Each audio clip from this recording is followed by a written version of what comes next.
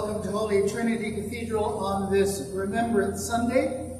And uh, thank you all for coming on what has been a blustery weekend. You will have noticed when you came in that if you came in by the north side of the hall, that the tarp has been blown away from our roof. So the roofers, I hope, will be coming this week to put the tarp back over. Good news is there are no leaks. Uh, the bad news is the handicap parking space is inaccessible. And uh, there's a clause in my letter of agreement which says I do not climb ladders for anybody.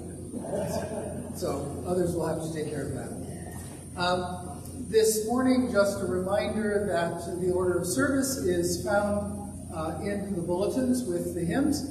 If you want the musical settings, of course, uh, you can refer to them. They're in the blue hymnal. And as this is uh, Remembrance Sunday, I invite you to stand and let us join in singing O Canada.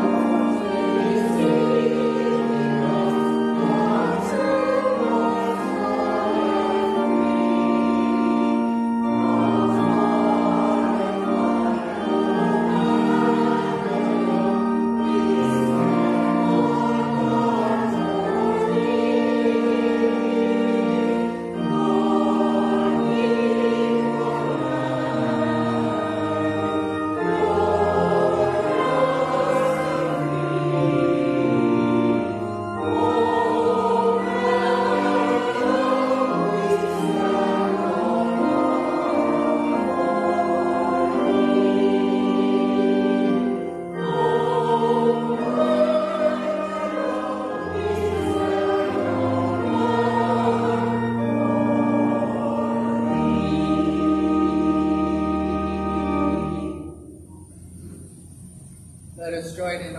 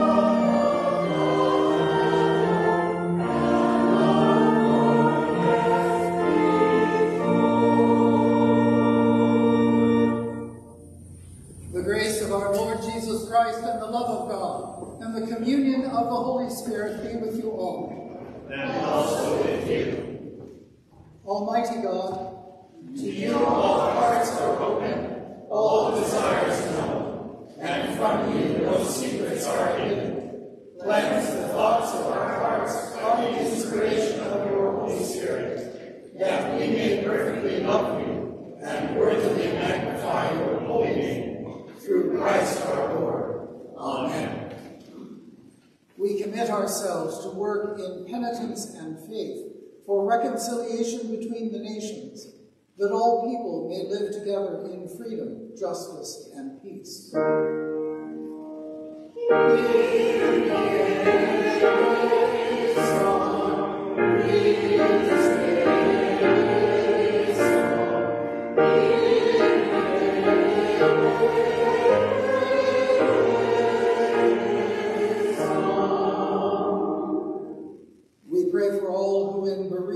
disability, and pain continue to suffer the consequences of fighting and terror.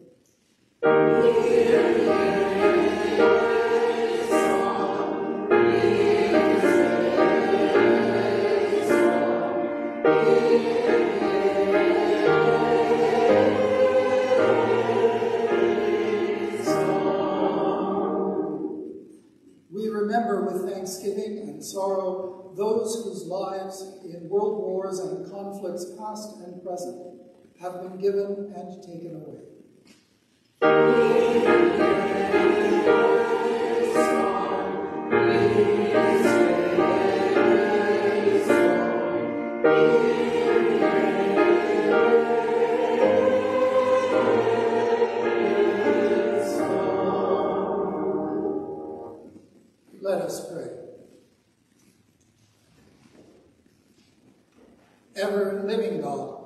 We remember those whom you have gathered from the storm of war into the peace of your presence. May that same peace calm our fears, bring justice to all peoples, and establish harmony among the nations. Through Jesus Christ our Lord.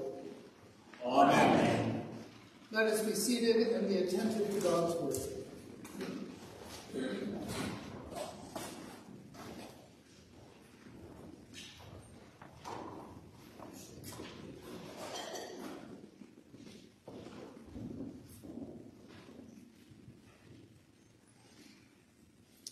A reading from the Wisdom of Solomon.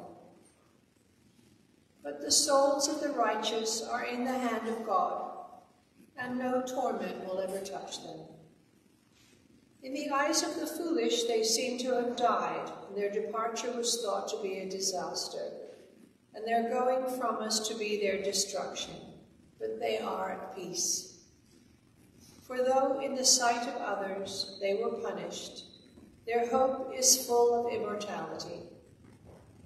Having been disciplined a little, they will receive great good, because God tested them and found them worthy of himself.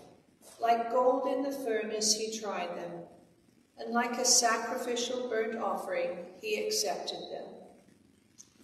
In the time of their visitation, they will shine forth and will run like sparks through the stubble.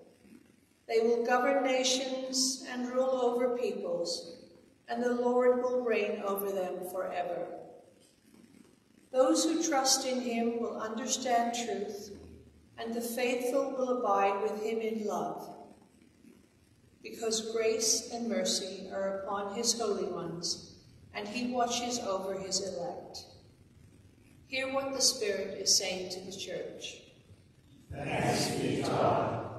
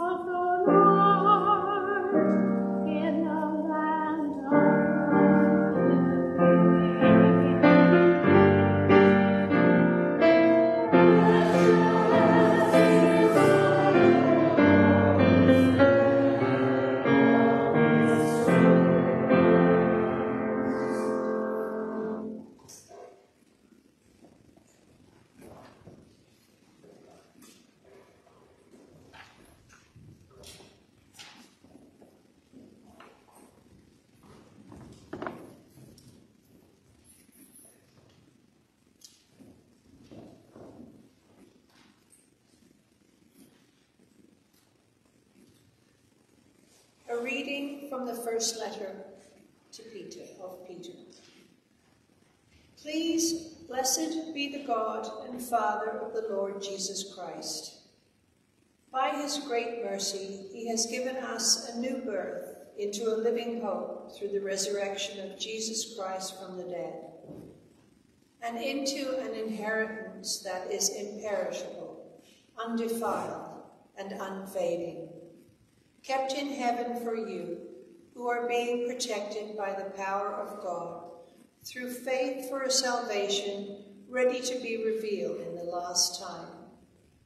In this you rejoice, even if now for a little while you have had to suffer various trials, so that the genuineness of your faith, being more precious than gold, that though perishable is tested by fire, may be found to result in praise and glory and honor when Jesus Christ is revealed.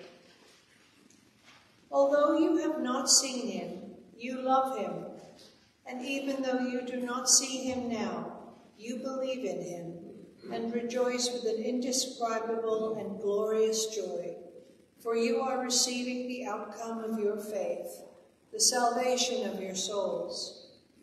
Hear what the Spirit is saying to the church. Thanks be to God.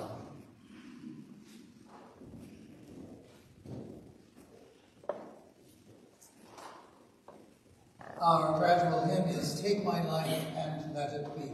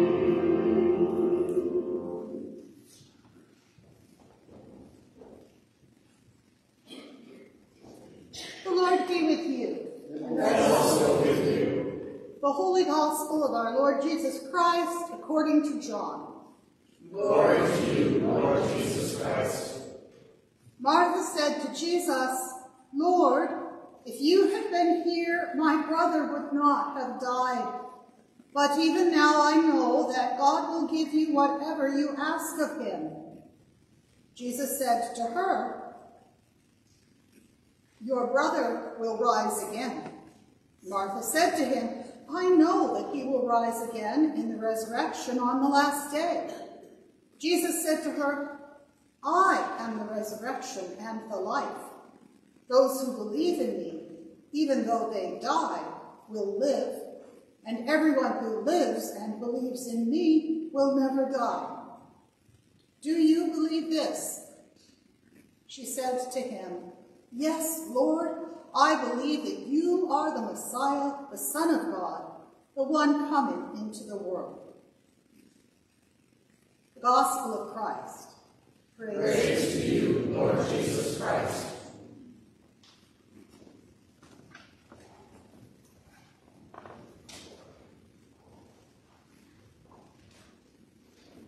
Please be seated.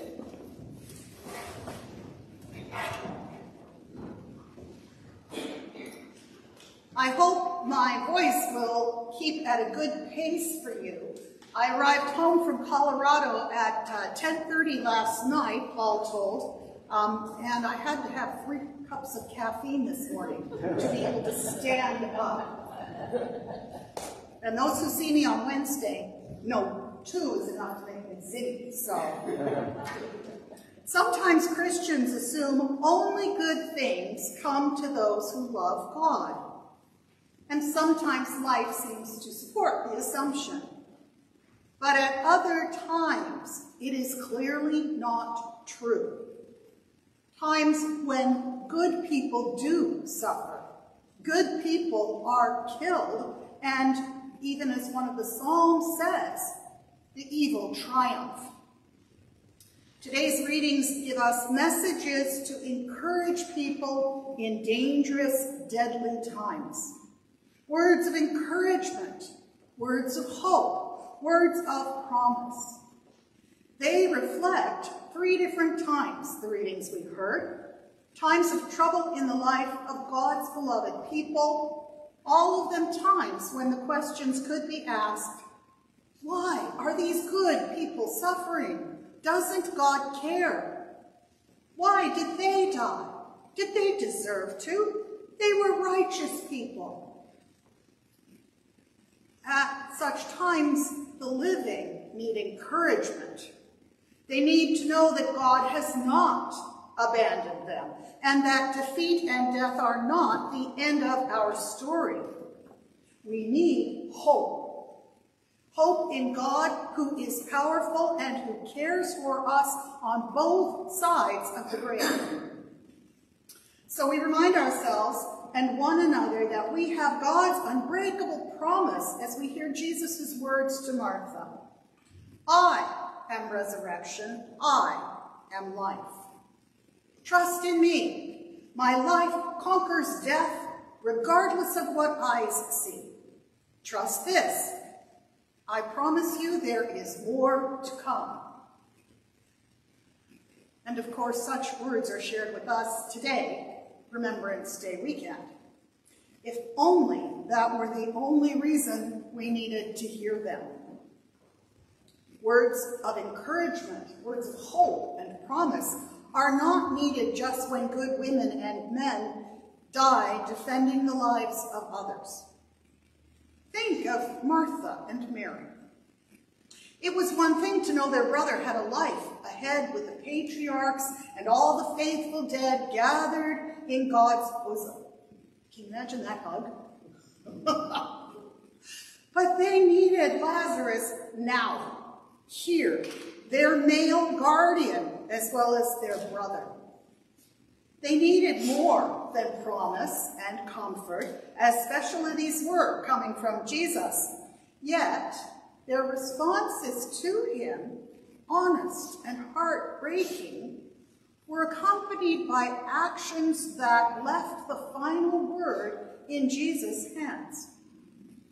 And they could do this because of their love for Jesus, who had been like a brother to them, because of their trust in him. The troubled waters of their lives continued to roll on, but Jesus was there. thinking of them, thinking of their relationship with Jesus, these particular moments in their life, and thinking of the words he spoke to them, I found myself singing a song many of you will know. When you're weary, feeling small, when tears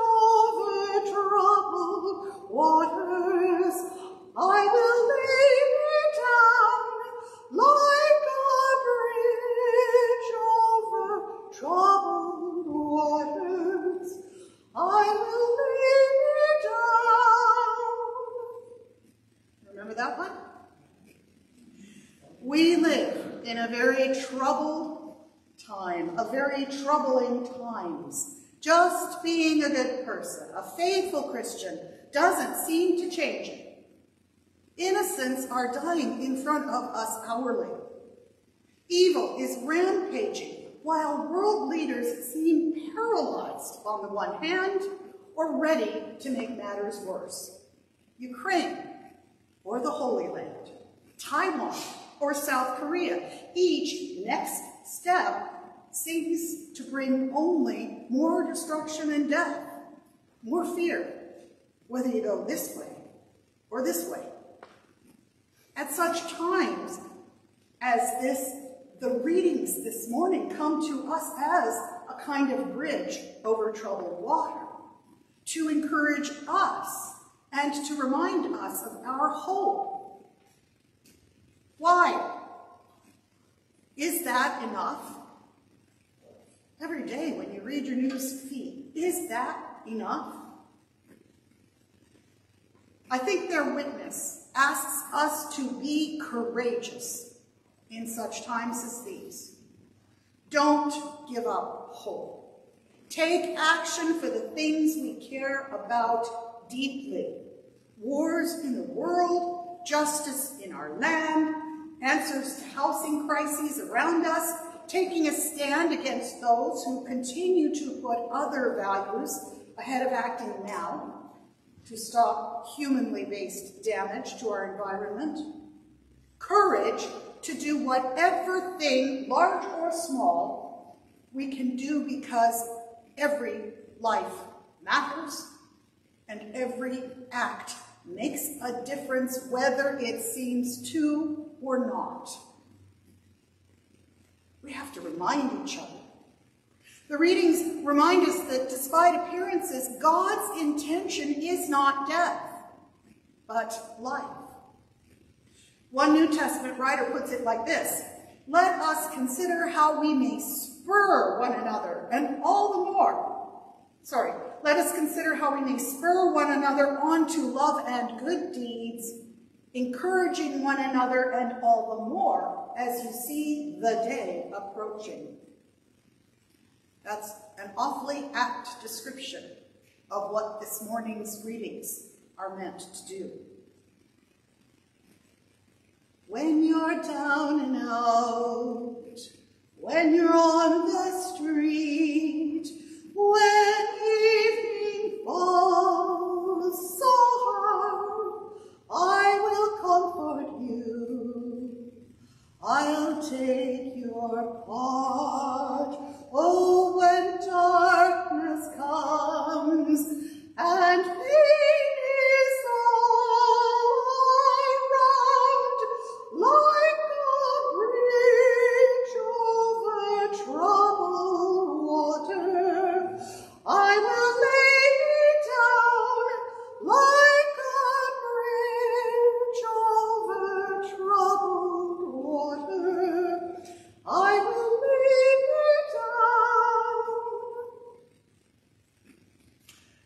just as these words are not the last words of the song, we hold on to the promises of God, trusting that our own bridge over troubled waters Jesus, God's love, God's power, knowing that there is still more to come. As we hear Jesus say to Martha, I am life, I am resurrection. Jesus who cried with her and Mary at the tomb and then reanimated Lazarus, giving new life to what had been one of mourning and death. So too God has more to say. This is our hope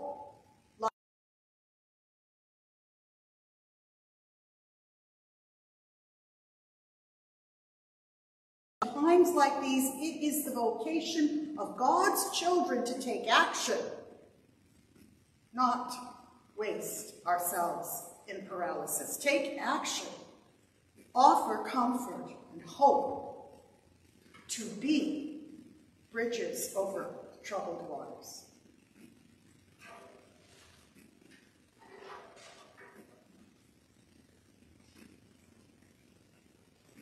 May the words of my mouth and the meditation of our hearts be acceptable in your sight, O Lord, for you are our strength and our song. Amen.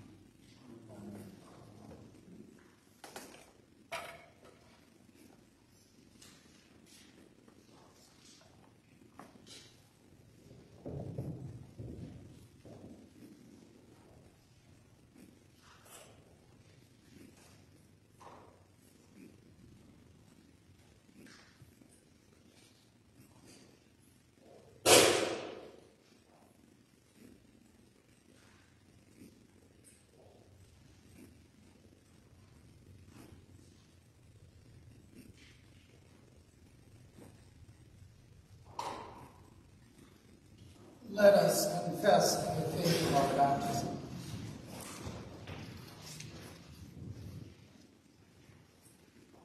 I believe in God, the Father Almighty, creator of heaven and earth.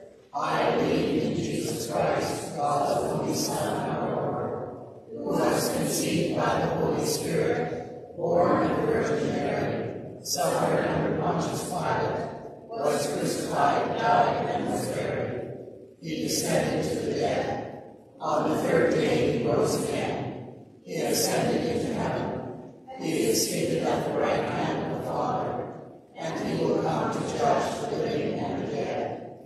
I believe in the Holy Spirit, the Holy Catholic Church, the communion of saints, the forgiveness of sins, the resurrection of the body, and the life everlasting.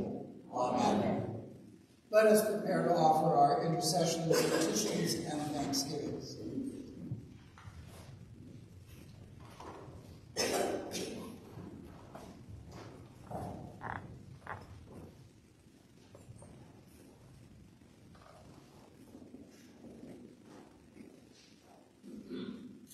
Please stand, sit, or kneel, as is your custom.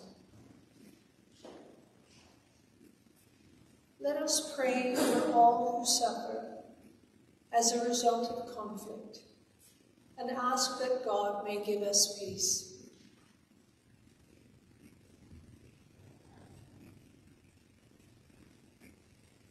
For the servicemen and women who have died in the violence of war, each one remembered by and known to God.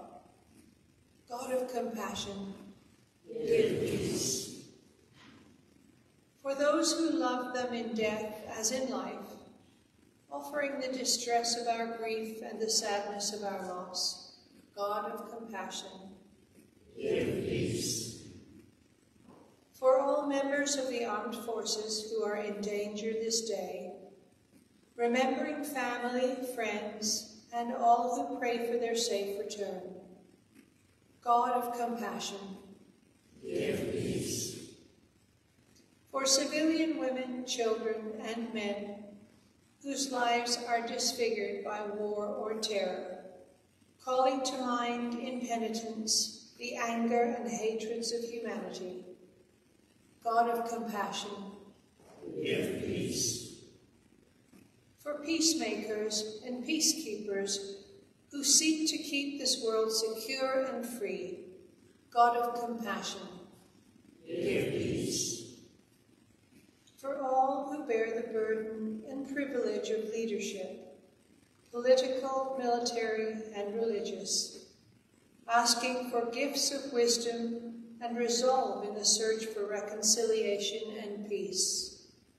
God of compassion, give peace.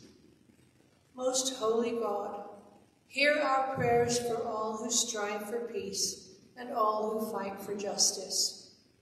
Help us, who today remember the cost of war, to work for a better tomorrow, and as we commend to you lives lost in terror and conflict, bring us all, in the end, to the peace of your presence, through Christ our Lord.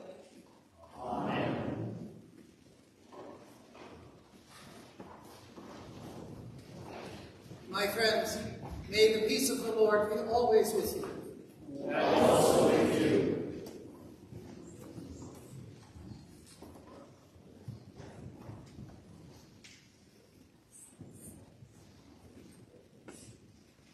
Our offertory hymn is Let All Mortal Flesh Keep Silence.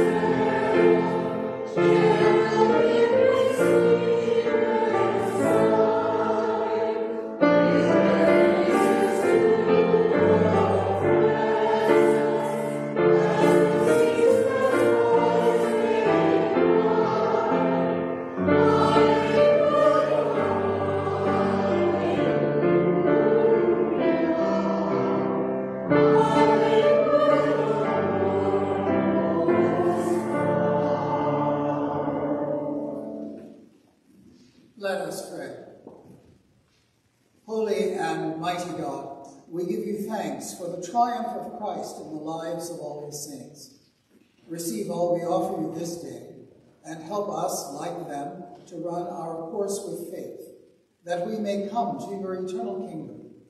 We ask this in the name of Jesus Christ our Lord. Amen.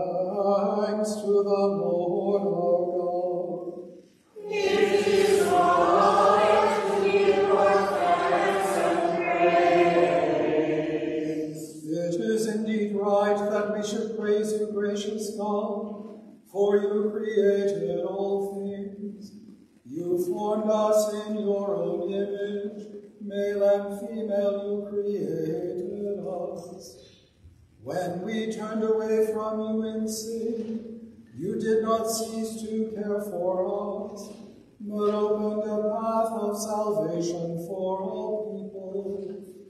You made a covenant with Israel, and through your servants Abraham and Sarah, gave the promise of a blessing to all nations. Through Moses, who led your people from through the prophets, you renewed your promise of salvation. Therefore, with them, and with all your saints who have served you in every age, we give thanks and raise our voices to proclaim the glory of your name.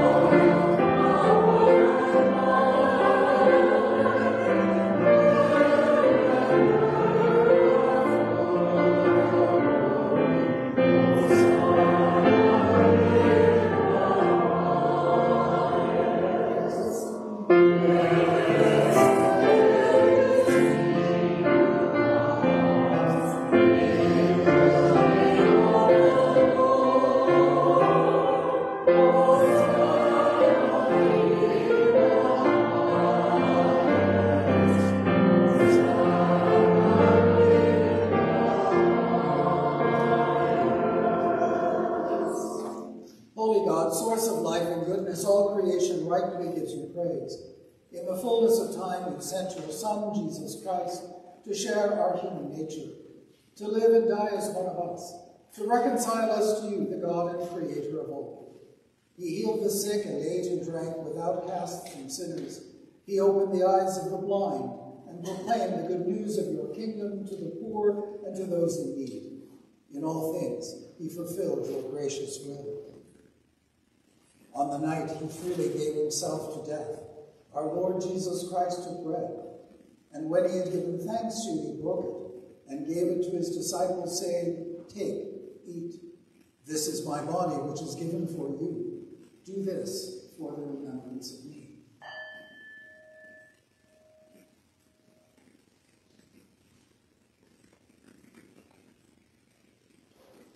Again, after supper, he took the cup. And when he had given thanks, he gave it to them and said, Drink this, all of you. This is my blood of the new covenant, which is shed for you and for all people for the forgiveness of sins. Whenever you drink it, do this in remembrance of me.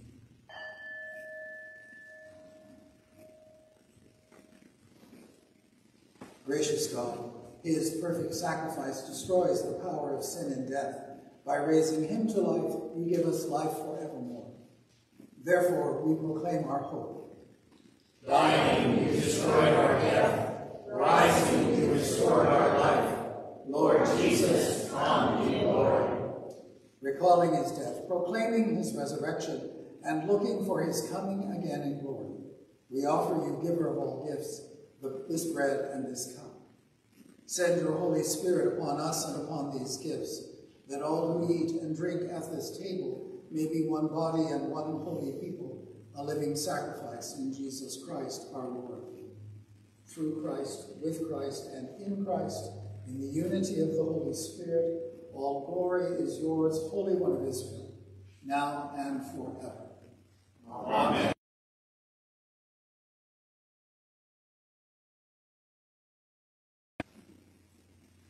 As our Savior taught us, let us pray. Our Father, in heaven, hallowed be your name. Your kingdom come, your will be done, on earth as in heaven. Give us today our daily bread. Forgive us our sins, as we forgive those who sin against us. Save us from the time of trial, and deliver us from evil. For the kingdom, the power, and the glory are yours, now and forever.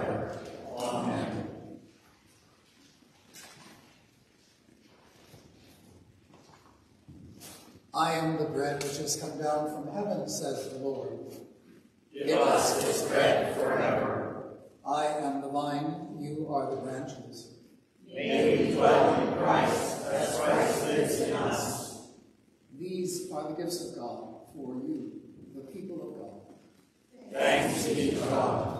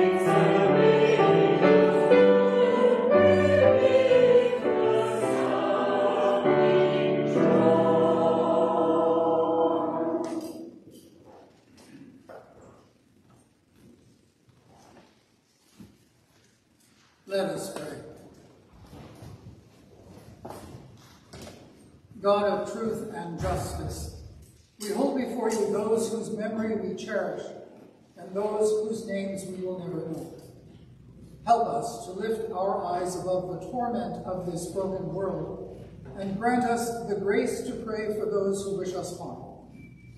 As we honor the past, may we put our faith in your future, for you are the source of life and hope, now and forever. Amen. Glory to God, Whose power working in us and doing infinitely more than we can ask or imagine. Glory to God from generation to generation, in the church and in Christ Jesus, forever and ever. Amen. Please be seated for some brief announcements. First, I want to thank Greg Kennelly for bringing the flags representing uh, the nations of the Commonwealth and of Canada, the flags representing Canada in our uh, service in the world. This is something Greg does a couple of times during the year, and I'm grateful to Greg for, for coming and bringing those flags. And also yesterday, Greg represented the parish at the cenotaph, uh, placing the wreath from Holy Trinity Cathedral at the cenotaph. So thank you, Greg, for, for that service. I appreciate it. Uh, also welcome Paula back from her travels.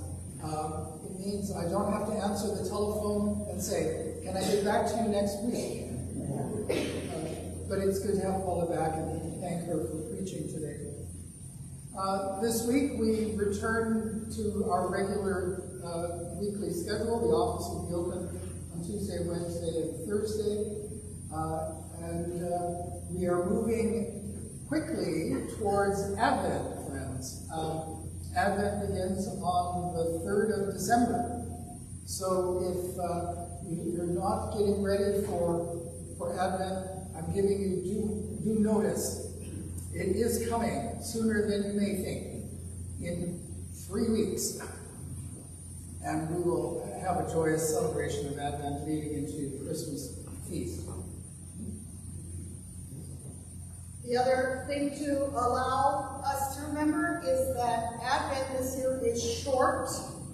The fourth Sunday of Advent is Christmas Eve. Yes. So if you count your way to Christmas from the first Sunday of Advent, you're going to be short. That's true. And speaking of which, on, on the 24th of December, we will have a 10 o'clock service, which will be Advent, the fourth Sunday of Advent. And then we'll have a 7 o'clock service, which will be Christmas Eve. So we will switch at sunset. Uh, and so just a, and also a reminder that we are scheduled for our Christmas concert. Uh, the plan is for the concert with the Royal Westminster Band, uh, Regimental Band, on Sunday the 17th, did we say two or three? Three, at three o'clock. Pardon me? 17th, Sunday the 17th. Okay? And we made it earlier in the day because in our past experience, the later it gets, the more of us kind of go, hmm. But three o'clock in the afternoon, still plenty of sunshine out. So hope that many of you will be able to join us.